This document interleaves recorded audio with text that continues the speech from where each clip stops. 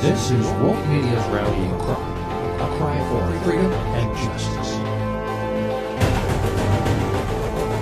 You're watching Woke Media, the call of the one. Follow Woke Media, come to the free land. 大家好，这一集我们呃想谈一谈维吾尔人的问题，在这个境外，呃， 这个民主搞民主运动的这些汉族人之间的一些问题。呃，境外的汉族人也反反中共，实际上境境外的其他的西藏的，还有这个香港，还有台湾的都在反共。但是呢，在境外这些组织呢，他们的目标和目的都不太一样。尤其是境外的这个民主人士，这些汉族人，他们一听到维吾尔人这个问题的时候，他们都会躲呃躲得很远。即便是个别一些人，他不愿意躲，他愿意跟你聊的时候，他还会提到一些这个，就是说东突不要独立，呃，我们将来搞民主政治，民主政治的时候呢，我们会一视平等等等。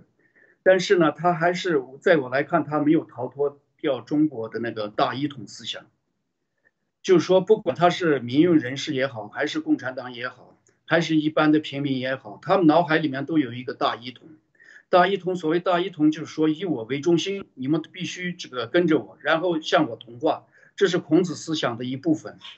所以他逃脱不了。另一方面呢，他也逃脱不了中共给维吾尔人的那个定性，就是说见到什么维吾尔人都会把他当做恐怖分子来对待。所以他们一方面也受到中共这个方面的这个影响，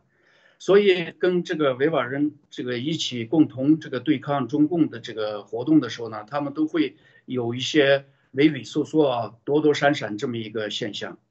但是呢，最近在香港出现了一个大的一个趋势，香港人两两百万香港人对抗中共的统治，这就说明一个问题了，就是说。香港人已经认清了中共的一个呃统治本质，这个本质统呃认清了以后，他们才能理解维吾尔人，才能了解维吾尔人。维吾尔人在各个方面，比如说宗教、人文、地理，还有些风俗习惯、语言各方面都跟这个汉族人不一样。那么，为什么汉凭什么汉族人就要统治维吾尔人呢？你的那个统治资源来自于哪里呢？谁给你的这个权利？维吾尔人要挑战他的这个权利，那么香港人也在挑战这个权利，那么将来境外的所有的这个汉族人也都可以挑战，比如说像蒙古人和这个西藏人也可以挑战，将来的话满洲人也可以挑战，也就是说中共统治这个全这个所谓的这个中国，它是没有领的那个统治资源的，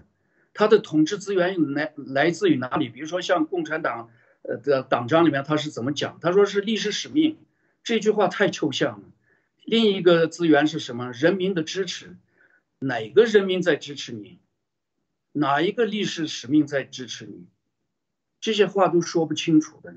所以这个中共呃没有什么权利，没有什么呃资格来统治这个东突，也没有资资资格统治别的这个地区。所以赶快就是说，呃，在这个方面呢，就是境外的这些组织呢。在反中共的方面呢，可以呃搞一些战略合作呀什么的，但是呢，在这个境外的这些汉族人呢，他还逃脱不了他那个呃孔子思想以及刚才我提到的这个大一统的这这一类的思想，还有受中共的这些思想的影响，所以在这个合作方面呢，总是这个呃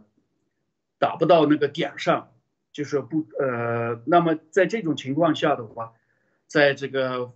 境外的民运反共在这个方面，他们也做不到什么大的一些呃这个呃大的一些活动，也起不到一些什么大的作用。